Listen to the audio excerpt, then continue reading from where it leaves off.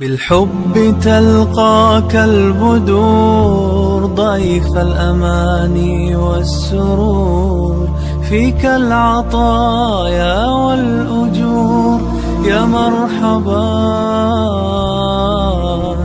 يا مرحبا ரமதானுக்கு பிறகு கண்ணியத்துக்குரியவர்களே ரமதான் மாதத்தை நாம் சந்தித்தோம் ரமதான் மாதத்துடைய வணக்க வழிபாடுகளை செய்தோம் ஐந்து நேர தொழுகையை பள்ளியில் சென்று ஜமாஅத்தோடு முடிந்த அளவு தொழுதோம். குர்ஆனை நேரம் கிடைக்கும் பொழுதெல்லாம் எம்முடைய நேரத்தை நாம் ஒதுக்கியாவது குர்ஆனை ஓதுவதற்கு தயாரானோம். இரவு வணக்க வழிபாடுகளில் பள்ளிகளில் சென்று ஆர்வத்தோடு கலந்து கொண்டோம். சுஹான் அல்லாஹ் எவ்வளவு அல்லாஹ் விரும்பக்கூடிய நாட்கள் அது. அல்லாஹ்விடத்தில் எவ்வளவு மேன்மையான நாட்கள் அது. அல்லாஹ் விரும்புகின்ற அத்துணை வழிகளிலும் எம்முடைய வாழ்வை நாம் பயன்படுத்தினோம். வெறும் நான் நோன்பை தாகித்திருப்பதையும் பசித்திருப்பதையும் மட்டும் நான் சொல்லவில்லை. அல்லாஹ் எதை தடுத்தானோ அதிலிருந்து முற்றிலுமாக எம்முடைய வாழ்வை விலக்கிக் கொண்டோம். அல்லாஹ் எதை விரும்பினானோ அதை எம்முடைய வாழ்வில் நாம் செயல்படுத்தினோம் அல்ஹம்துலில்லாஹ். ஆனால் ரமதான் மாதம் எம்மை கடந்துவிட்டு சில வாரங்கள் ஆகியிருக்கிறது. ஆனால் ரமதான் மாதத்தில் எப்படி எம்முடைய வாழ்வு இருந்ததோ அதே போல்தான் எம்முடைய வாழ்வு தொடர்கிறதா? அல்லது ரமதான் மாதத்திற்கு முன்னால் எப்படி எம்முடைய வாழ்வை நாம் கழித்தோமோ அந்த வாழ்க்கை மீண்டும் எம்முடைய வாழ்க்கையில் இணைந்து விட்டதா?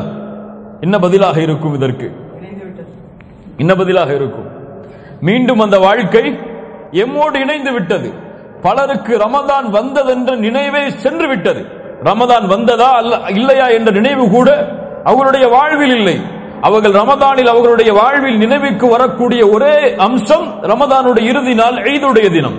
ரமதானுடைய முடிந்த அடுத்த நாள் அந்த ஈதுடைய தினத்தில் அவர்கள் அனுபவித்த அந்த காட்சிகளும் அந்த கொண்டாட்டங்களும் மட்டும்தான் இந்த ரமதானுடைய நினைவில் பலருடைய உள்ளத்தில் இருக்கிறதே தவிர ஒட்டுமொத்த ரமதானுடைய மாதமும் அதில் கழிக்கப்பட்ட நாட்களும் அவனுடைய வாழ்வும் அந்த ரமதானோடு அவனை விட்டு சென்று விட்டது பலருக்கு. பலர் இன்னும் கொஞ்ச நேரமா கொஞ்சம் காலம் ஆகும் அவர்களுக்கு மீண்டும் அவர்களுடைய பழைய வாழ்வை அவர்கள் தொடங்குவதற்கு. ரமதானுடைய அந்த ஈமான் இன்னும் அவர்களுடைய உள்ளத்தில் தொற்றிக் கொண்டிருக்கிறது. இல்ல மஷா அல்லா அல்லாஹ் பாதுகாத்தவர்களை தவிர. இன்னும் பலர் இருக்கிறார்கள். அல்ஹம்துலில்லா அவர்கள் தான் வெற்றியாளர்கள் அவர்கள் தான் கண்ணியத்துக்குரியவர்கள் அல்லாஹ்விடத்தில். ரமதானுக்கு முன்னாலும் அவர்களுடைய வாழ்க்கை எப்படித்தான் இருந்தது. ரமதானிலும் அவர்களுடைய வாழ்க்கை எப்படித்தான் இருந்தது. ரமதானுக்கு பிறகும் அவர்களுடைய வாழ்க்கை அப்படித்தான் இருக்கும். ஏற்றம் இருக்கும் ஏற்றம் இரக்கம் இருக்கும். ஆனால் ஒரே அடியாக அது இறங்கி விடாத அவனுடைய வாழ்வில். இவர்கள் தான் வெற்றியாளர்கள். அல்லாஹ் ரப்புல் ஆலமின் அந்த கூட்டத்தில் எம்மை ஆக்குவானாக. ஏன் ரமதானில் தொழுதும்? ஏன் ரமதானுக்கு பிறகு நாம் தொழவில்லை? ஏன் ரமதானில் பள்ளிக்கு சென்று ஜமாஅத்தோடு தொழுதும்? ஏன் ரமதான் முடிந்து விட்டதற்கு பிறகு பள்ளியில் சென்று ஜமாஅத்தோடு தொ- தொழுவதற்கு நம்முடைய உள்ளம் தயங்குகிறது? ஏன் ரமதானில் குர்ஆனை ஓதினோம்? ரமதான் முடிந்ததற்கு பிறகு ஏன் குர்ஆனை ஓதுவதை நிறுத்திவிட்டோம்? ஏன் ரமதானில் இரவு வணக்க வழிபாடுகளில் ஈடுபட்டோம்? ஏன் ரமதானுக்கு பிறகு இரவு வணக்க வழிபாடுகளை நிறுத்திவிட்டோம்? யார் பதில் சொல்ல முடியும் இதற்கு? ஏன்? ரமதானில் மட்டும் அல்லாஹ் ரப்புல் ஆலமீன் கடமையாக்கிய ஒரு கடமையா தொழுகை? எல்லா நேரங்களிலும் அல்லாஹ் கடமையாக்கியது. ரமதானில் மட்டும் பள்ளியில் சென்று தொழுங்கள் என்று அல்லாஹ்வால் கொடுக்கப்பட்ட கடமையாது. ரமதான் அல்லாத நாட்களிலும் பள்ளியில் சென்று ஜமாஅத்தோடு தொழ வேண்டும் என்று அல்லாஹ்வால் கொடுக்கப்பட்ட கட்டளை அது. ஆனால் ஏன் ரமதானில் மட்டும் இந்த சமூகம் நிறைவேற்றுகிறது? ரமதானில் பார்த்தால் பஜருடைய தொழுகைக்கெல்லாம் பள்ளியில் உள்ளே செல்வதற்கு இடம் கிடைக்காத பலர் எம்மிலே இருக்கிறார்கள். ரமதான் முடிந்து விட்டால் முதல் சப் எல்லாம் சாதாரணமாக அங்கே வரக்கூடிய எல்லா தொழுகையாளிகளுக்கும் கிடைப்பதற்கு ஏற்ப பள்ளி தயாரிக்கப்பட்டிருக்கிறது. புதிய பள்ளி உருவாகியதா? அல்லது புதிய மக்கள் இந்த பூமிக்கு வருகை தந்தார்களா?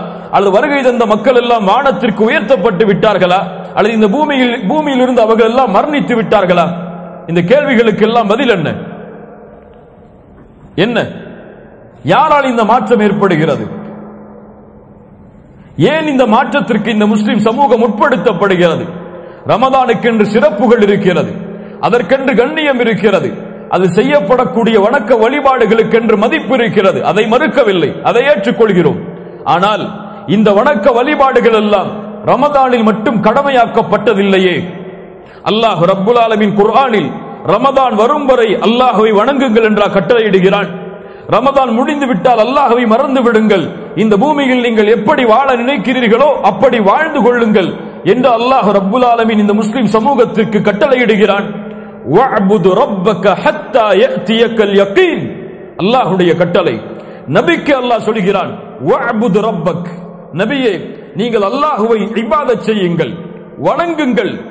வணக்கம் என்பது தொழுகை மட்டுமல்ல வணக்கம் என்பது நோன்பு மட்டுமல்ல வணக்கம் என்பது ஹஜ் மட்டுமல்ல வணக்கம் என்பது நீங்கள் நடந்து கொள்ளக்கூடிய குணம். வணக்கம் என்பது உங்களுடைய குடும்பத்தார்களோடு உங்களுடைய உறவினர்களோடு உங்களுடைய தொழிலோடு. அல்லாஹ் ரப்புல் ஆலமின் எப்படி விரும்புகிறானோ அல்லாஹ் எப்படி நேசிக்கிறானோ அப்படி வாழக்கூடிய முறைதான் இபாதத் வணக்கம். வஅபுது ரப்பக். அல்லாஹ்வை வணங்குங்கள் நபியை உங்களுடைய ரப்பை வணங்குங்கள். எதுவரை? ஹத்தா யஅதியக்கல் யக்கீன் உங்களுடைய மரணம் உங்களை சந்திக்கும் வரை. ரமதான் வரை மட்டும் என்று அல்லாஹ் சொல்லவில்லை. உங்களுடைய மரணம் உங்களை சந்திக்கும் வரை அல்லாஹுவை வணங்குங்கள். ரமதான் வந்தாலும் சரி ரமதான் உங்களுடைய வாழ்வை வர வாழ்வில் வரவில்லை என்றாலும் சரி மற்ற மாதங்களை நீங்கள் அடைந்தாலும் சரி அடையவில்லை அடையவில்லை என்றாலும் சரி உங்களுடைய நொடிப்பொழுது இந்த பூமியில் கடைசியாக அமைக்கப்படும் வரை அல்லாஹுவை வணங்குங்கள். இந்த கட்டளைதான் நபிக்கும் இந்த கட்டளைதான் ஒட்டுமொத்த முஸ்லிம் சமூகத்திற்கும் ஆனால் இம்முடைய முஸ்லிம் சமூகத்தில் பலர் ரப்பை வணங்குவதற்கு பதிலாக ரமதானை வணங்கிக் கொண்டிருப்பவர்களாகத்தான் பார்க்கிறோம். ஐயா